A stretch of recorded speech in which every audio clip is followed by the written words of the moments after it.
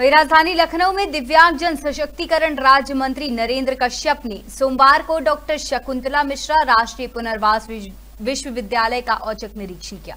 इस दौरान उन्होंने विश्वविद्यालय के छात्र छात्राओं से उनकी समस्याओं के संबंध में भी वार्ता की और कुलपति और रजिस्ट्रार सहित विश्वविद्यालय के अधिकारियों के साथ बैठक की।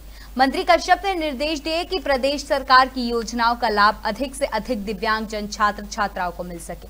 उन्होंने विश्वविद्यालय में कौशल विकास के नए कोर्स शुरू करने के भी निर्देश दिए।